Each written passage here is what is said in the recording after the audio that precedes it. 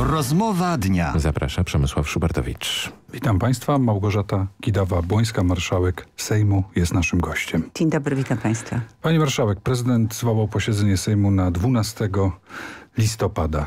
Dobra data? Znaczy bardzo dobrze, że wreszcie podjął decyzję, kiedy y, Sejm, nowy Sejm rozpocznie swoje działania, bo długo czekaliśmy w takim zawieszeniu, bo rzeczywiście pan prezydent ma czas. Pierwsze posiedzenie Sejmu powinno się odbyć pomiędzy 9 a 25 listopada, ale wszyscy oczekiwali, kiedy ta data nastąpi. Tylko no, cieszymy się, że ta data jest, ale z drugiej strony martwi mnie bardzo to, że będziemy na Malcie mieli puste polskie krzesło. Chodzi oczywiście o, O szczyt szczyt. Rady Europejskiej na Wydaje mi Malcie, się, ale że- będzie puste krzesło na No. pewno? Premier Ewa Kopacz No nie pojedzie?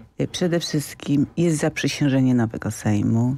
Pani Ewa Kopacz obejmuje mandat posła, są składa swoją dymisję i wydaje mi się, że to jest bardzo nieszczęśliwy dzień, to znaczy zły traf, bo ja uważam, że tego dnia jednak na polskim krześle powinien siedzieć albo premier, albo pan prezydent, a 12 wyklucza obecność zarówno premiera, jak i A dlaczego wyklucza? Bo słyszałem takie opinie, że można byłoby na przykład złożyć dymisję korespondencyjnie i wieczorem, ponieważ szczyt jest wieczorem, pojechać e, Nie, nie, na Maltę. O godzinie 13 mamy y, posiedzenie Sejmu. Każdy poseł, tak samo pani premier i wszyscy ministrowie zostali posłami i zaprzysiężenie są. No, nie wyobrażam sobie, żeby go, tego dnia nie byli w Sejmie, nie brali udziału w tych uroczystościach. Poza tym pani y, premier składa już dymisję. No tak, ale do powołania nowego rządu i tak pewnie Znaczy, bardzo obowiązki. niezręczna jest ta data. Ja, ja, ja bym chciała, że- żebym ja tłumaczyła, jakie można przyjąć rozwiązanie, bo ja bym nie chciała jako Polka widzieć pustego krzesła i powiedzenie, że na tym ważnym posiedzeniu nie ma reprezentanta Polski, bo to by było zaskakujące. Pani marszałek, ale czy to nie jest tak, że bo teoretycznie zakładając, jeśli na przykład ta dymisja jest złożona, potem jeszcze nie ma nowego rządu, no bo to też chwilę potrwa, zanim będzie zaprzysiężenie, to do zaprzysiężenia premier Ewa Kopacz pełni obowiązki. Tak, to nie tak. mogłaby pojechać po posiedzeniu Sejmu albo wieczorem, Nie, po nie ma- południu? Znaczy, posiedzenie Sejmu jest 12 o 13. Na Maltę, z tego co wiem, leci się nie godzinę i nie dwie jak do Brukseli, tylko zdecydowanie dłużej. No, nie jest to, ale, ale to jednak kilka godzin lotu więcej. Ja, ja nie wiem nawet jak to zrobić logistycznie. To jest fakt, przed którym postawił nas pan prezydent wczoraj. Ja naprawdę nie chciałabym jako Polka widzieć pustego krzesła w Brukseli. Bo Ale jest pani mnie- pewna, że ono będzie puste raczej. znaczy, to na znaczy, razie że... wygląda, że będzie, tak? Tym bardziej, jeżeli słyszymy, że to jest test dla Platformy, jak Platforma ma się zachować. To nie jest test dla Platformy, jak my się mamy zachować.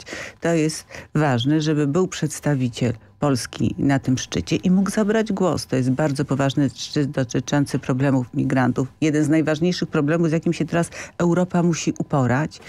I tutaj to jest szczyt, na którym nie może wziąć udziału ani minister, ani ambasador. Tu może być albo pan, ani, albo pani premier, albo pan A prezydent. pan prezydent... Albo pan y, prezydent. A pan prezydent może polecieć według pani? Znaczy mógłby, ale jest zaprzysiężenie nowego Sejmu, więc też nie wyobrażam sobie, żeby w tak ważnym momencie w Polsce naszego prezydenta nie było i, i nie był w Sejmie tego dnia. To także byłoby zaprzeczenie tej tradycji dobremu zwyczajowi, który od lat y, w naszym kraju obowiązuje. Więc jest trudna bardzo sytuacja. A może to Donald Tusk y, powinien No na inny dzień zwołać To y, znaczy, ja posiedzenie Rady podejrzewam, Europejskiej?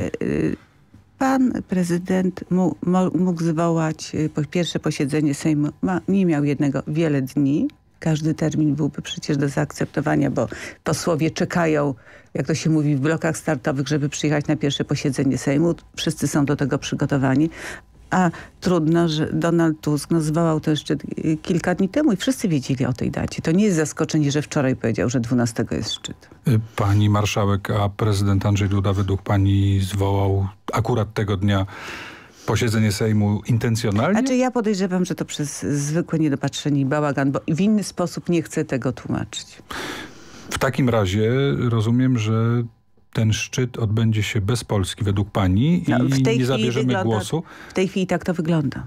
Ale słyszałem, że takie są też podejrzenia, przynajmniej dziennikarskie, publicystyczne, że w kancelarii prezydenta pojawiła się taka obawa, że Ewa Kopacz mogłaby popsuć relacje w grupie wyszehradzkiej, które to mógł- prezydent Duda ale chce to mógł umacniać. być wybrany inny termin, mógłby na ten szczyt pojechać pan prezydent, skoro tak bardzo się boi, że pani premier popsuje kontakty w grupie wyszehradzkiej, bo ja jeżdżąc jeszcze jako rzecznik rządu z panią premier, miałam wrażenie, że te relacje w tej grupie, mimo że wielokrotnie w różnych sprawach się różniliśmy, były dobre. A czy premier Ewa Kopacz kontaktowała się z prezydentem w tej sprawie? Tego nie wiem, to już to pytanie do rzecznika rządu albo do pani premier, nie wiem. Czyli między Platformą a Kancelarią Prezydenta albo między Kancelarią Premiera a Prezydenta? Nie wie pani, czy to były znaczy, jakieś nie rozmowy wiem, na tutaj ten ja temat? nie mogę na to pytanie odpowiedzieć. Czy były jakieś kontakty, rozmowy? No podejrzewam, że na pewno minister spraw zagranicznych no powinien zwrócić uwagę panu prezydentowi na niezręczność tej sytuacji. Pani marszałek trwa ucieranie się, jeśli można tak powiedzieć, spraw rządowych.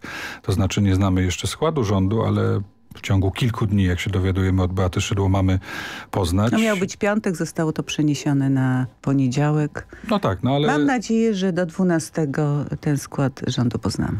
No tak, ale czy te nazwiska, które pojawiają się na giełdzie na razie mm, budzą w pani jakieś emocje polityczne, czy czeka pani do ogłoszenia Znaczy- oficjalnego składu? Na przykład Antoni Macierewicz. Znaczy na pewno budzą emocje, bo pamiętam konferencję pani Beaty Szydło, która jednoznacznie mówiła, że pan Antoni Macierewicz nie będzie ministrem obrony narodowej. Wskazywała innego kandydata na to No, stanowisko. mówiła, że najprawdopodobniej Jarosław Gowin, Ale, że znaczy, naj... ale nie, ale mocniejszym kandydatem no, ale jest. nie mówiła tutaj o, o panu Macierewiczu. Teraz ta karuzela się e, rozkręciła i słyszymy, że Antoni Macierewicz może tę funkcję objąć, może także inną funkcję. No, bardzo dużo nazwisk, które budzą takie moje zaniepokojenie, bo bardzo cenię sobie wizerunek, jaki wypracowała Polska na arenie międzynarodowej i bardzo chciałabym, żebyśmy dalej byli cenieni jako odpowiedzialny i racjonalny partner. No, znaczy, gdyby Antoni Macierewicz został y, szefem y, Ministerstwa Obrony Narodowej, to jaka byłaby pani Znaczy, reakcja? Ja powiem tak, byłabym bardzo zaniepokojona,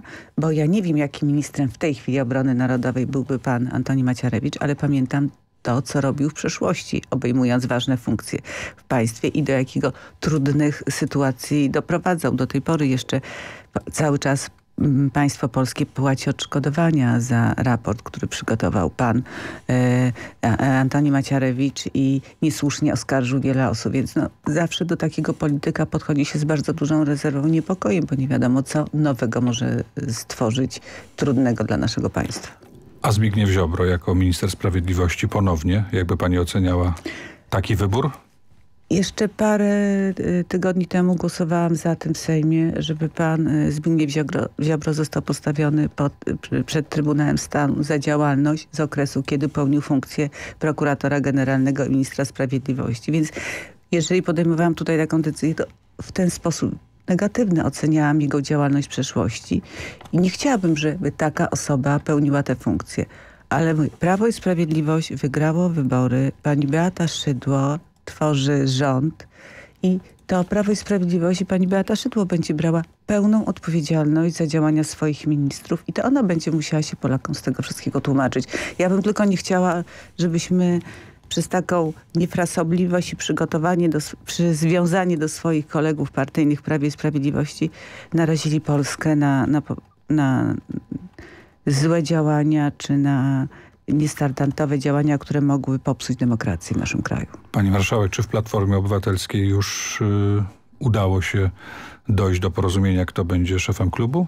No, do szefa, y, do poroz- mamy dwóch kandydatów, dwoje kandydatów, panią premier Ewę Kopacz i pana ministra Słowana Neumana, z tego co wiem, ale jeszcze nie było posiedzenia klubu. Możliwe, że nawet pojawi się jeszcze jakieś kolejne nazwisko. Będą wybory na, na, i wtedy będziemy wiedzieli, kto jest A szefem pani klubu. wspiera Sławomira Neumana czy Ewę Kopacz? Znaczy ja wspieram Platformę i chciałabym, żeby to było dobre zarządzanie klubem, ale na pewno moim zdaniem Ewa Kopacz ma lepsze predyspozycje do tego, żeby być szefem klubu. Czyli Ewa Kopacz, a nie No- Sławomir Neumann. M- m- ma mój głos, ale mój klub jest duży i każdy ma prawo wyboru. A czy wybory na szefa Platformy Obywatelskiej będą przebiegały burzliwie? To są wybory powszechne, także wszyscy członkowie Platformy Obywatelskiej, wszyscy, nie tylko mają prawo wziąć udział w tym głosowaniu. To są bardzo ciekawe wybory. Na pewno będą emocjonujące, bo zawsze te wybory są emocjonujące, bo wybieramy szefa partii na, na, na 4 lata.